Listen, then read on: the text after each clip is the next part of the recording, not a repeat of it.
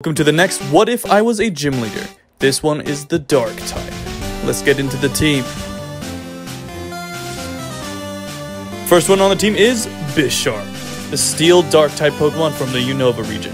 And then we have Houndoom, the Dog Pokemon. It's a Fire and Dark type from the Johto region. Next we have Godzilla himself, Tyranitar, the Dark and Rock type. Now we got Drapion, the Scorpion Pokemon. It's a poison and dark type. And last we have the Frog Ninja Pokemon Greninja, water dark type. That was what if I was a dark type gym leader. Comment below what you want to see next and follow for more.